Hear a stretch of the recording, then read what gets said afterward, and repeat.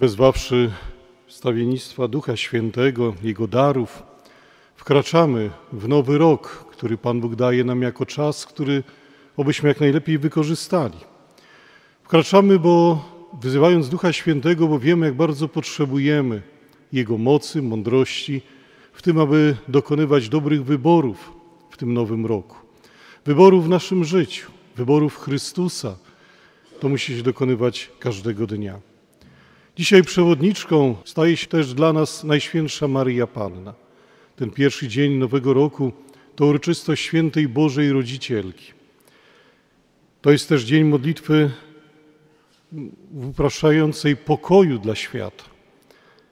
Bóg chce nam błogosławić, tak jak błogosławił Izraelowi przez pośrednictwo Mojżesza. Chce, abyśmy w Jezusie odnaleźli źródło naszego pokoju. Pokoju dla świata, dla każdego człowieka. Dlatego Bóg do nas przemówił, przyszedł i chce, abyśmy go zabrali w ten nowy rok, w ten czas, który otrzymaliśmy jako dar od Pana Boga. Uczestnicząc dzisiaj z wiarą w tej najświętszej ofierze, słuchajmy Bożego Słowa, przyjmijmy ciało Pańskie i napełnijmy się tą Bożą obecnością, abyśmy mogli wypełnić misję, którą otrzymaliśmy.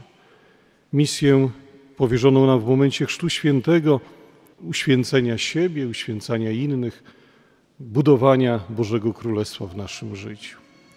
Moi drodzy, w Starym Testamencie, w pierwszym czytaniu słyszeliśmy, jak Bóg kazał błogosławić lud Izraela. Niech Cię Pan błogosławi i strzeże. Niech rozpromieni oblicze swe nad Tobą, niech Cię obdarzy pokojem, łaską. Dzisiaj, kiedy stajemy na początku tego nowego roku, chcemy życzyć Wam właśnie tego Bożego pokoju i tej Bożej łaski. Nie w tych, w tych sytuacjach, które będziemy przeżywać, wobec nowych wyzwań, a może starych, tylko podejmowanych na nowo, niech Pan Bóg udzieli potrzebnych sił i łask, a przede wszystkim właśnie swojej nadziei.